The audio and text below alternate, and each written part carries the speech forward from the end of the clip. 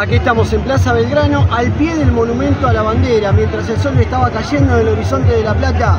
Se hizo presente Patricia Bullrich, precandidata a la presidencia por Juntos por el Cambio, estuvo con el senador Juan Pablo Alan, quien también está en la carrera para disputarle la intendencia a Julio Garro, y estuvo también el ex fiscal Marcelo Romero, parte del equipo de Juntos por el Cambio en La Plata, en lo que se puede dar a conocer como un lanzamiento oficial de Alan a la candidatura de la Intendencia, te mostramos lo que pasó esta tarde de sol en este mes de mayo, en 13, entre 39 y 40. Vamos a luchar por nuestra provincia, por nuestra Argentina, así que les propongo convertir a nuestra provincia, nuestra provincia de Buenos Aires, en la locomotora del cambio en la Argentina, que sea un gran tren lleno de vagones con todos los argentinos adentro, comandada por Patricia Bullrich. Vamos Argentina, vamos a Buenos Aires y obviamente La Plata con Juan Pablo. Buenas tardes, ¿cómo les va? Gracias Alan, Juan Pablo Alan, que tiene toda la fuerza y todo el entusiasmo para plantear una continuidad del gobierno de Juntos por el Cambio aquí en La Plata con una nueva identidad, con una nueva cara, con una nueva frescura, con una nueva posibilidad. A nuestra incorporación reciente, una persona con la que trabajé luchando contra el narcotráfico durante los cuatro años de nuestra gestión, Marcelo Romero siempre estuvo combatiendo contra la mafia, contra el narcotráfico, contra todos aquellos que hacían de la vida de la gente un despojo. Vamos a controlar y vamos a mandar a los narcotraficantes a cárceles especiales para que sepan que no es gratis, que no es gratis ser narco, que no es gratis ser abusador, violento, asesino, no es gratis, la van a tener que pagar, porque el que las hace las paga en la Argentina que viene. Y le vamos a tender una mano a los chiquitos jovencitos que vemos que a los 11, 12 años están hoy como zombies.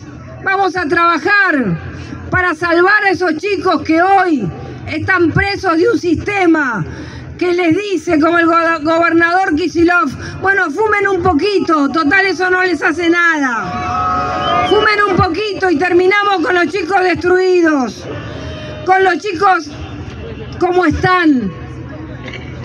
Entonces, orden en la economía, orden en la seguridad y contra el narcotráfico.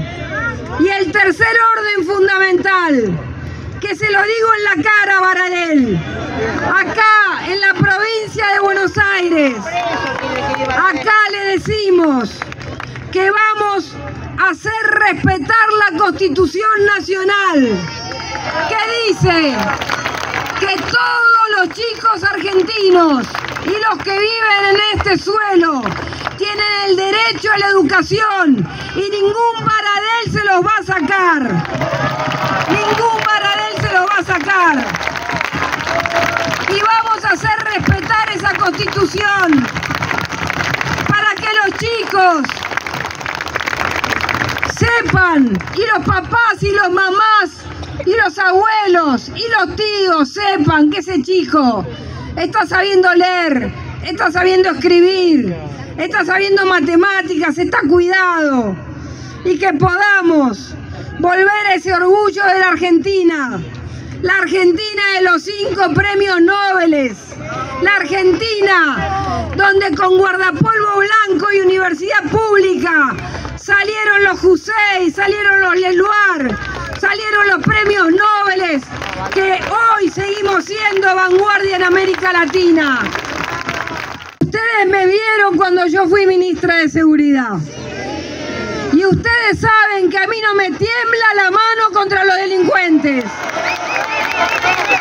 Y que yo voy a ir fuerte contra aquellos que se roban el futuro de la gente, que te entran a tu casa, que te llevan lo que tenés y que te matan, que te destruyen familias enteras.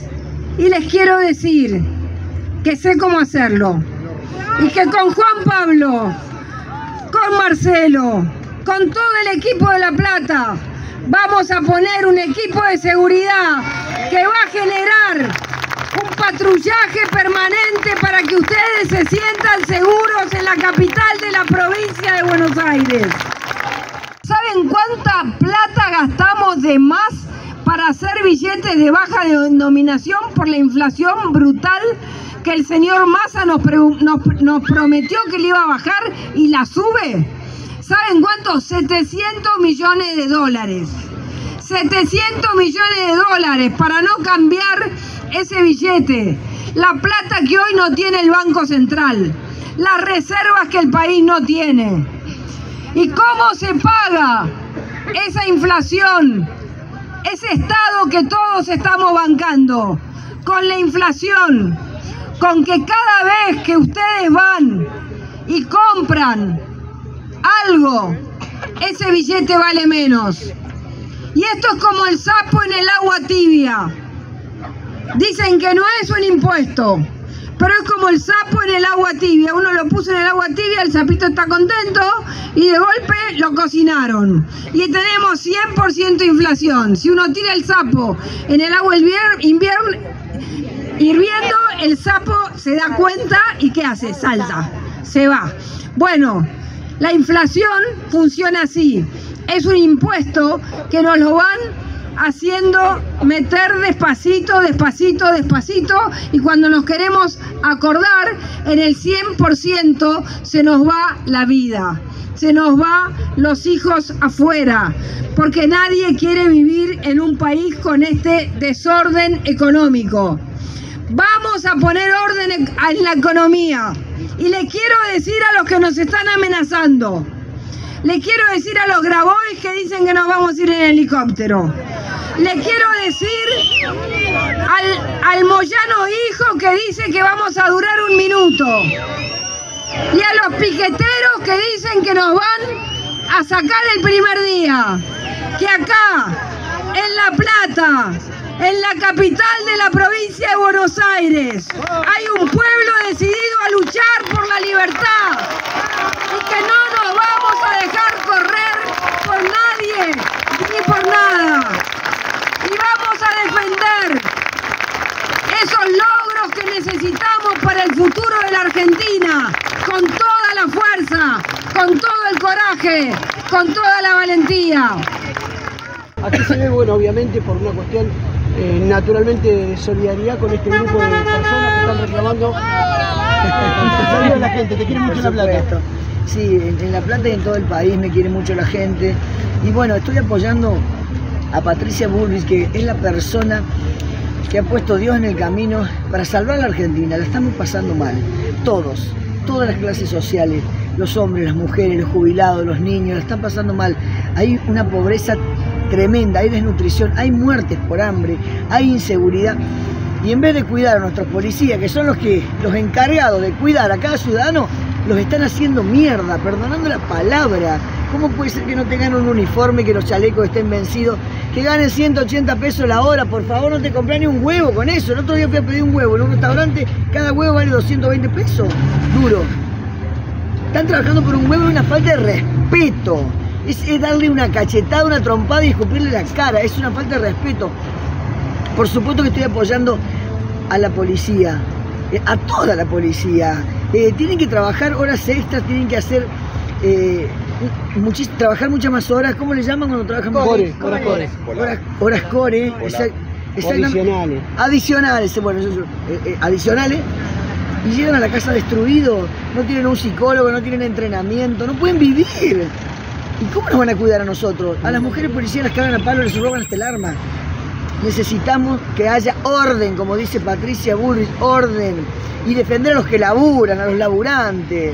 No pueden estar mendigando y pidiendo o haciendo una marcha, un reclamo, siendo que son quienes nos, cuidan, nuestros ángeles azules. Eh, Esto tiene que cambiar. Claro que los apoyo. También apoyo al personal de la salud, apoyo al laburante y a los delincuentes hay que meterlos presos. La policía tiene que estar bien, tienen que ser, son nuestros héroes. A ver, ¿quién sale a la calle exponiendo su vida por cada ciudadano? Hay que tener coraje, huevo, valentía y vocación. Porque ellos pueden, salen a la calle y no saben si vuelven. Salen a la calle y no saben si vuelven. Tienen hijos, tienen familia, tienen mamá, papá, hermanos, esposa o esposo. Hay que apoyar a la policía, hay que hacer justicia y esto es realmente es un desastre, una falta de respeto. Ya nos están tomando el pelo así en la cara.